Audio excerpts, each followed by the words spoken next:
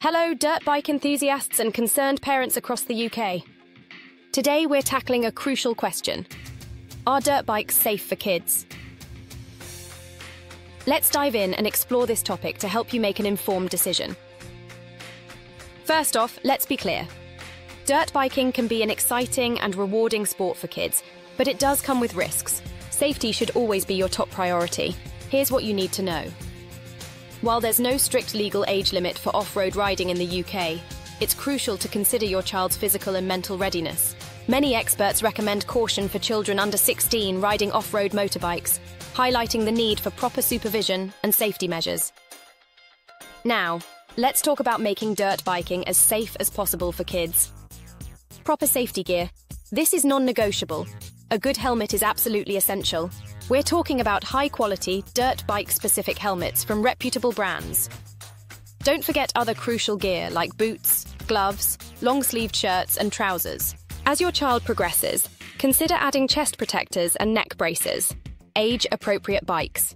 Start with bikes designed specifically for kids. There are great options available for different age groups, from small electric bikes for the youngest riders to more powerful models for teens.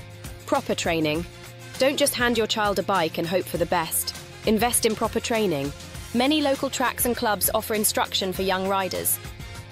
Supervision. Always supervise your children when they're riding. This is crucial for their safety and your peace of mind. Controlled environment. Start in a safe, controlled area. A flat, straight dirt track or an open field is ideal for beginners. Gradual progression. Don't rush. Let your child progress at their own pace. Start with slower, less powerful bikes and work up as their skills improve.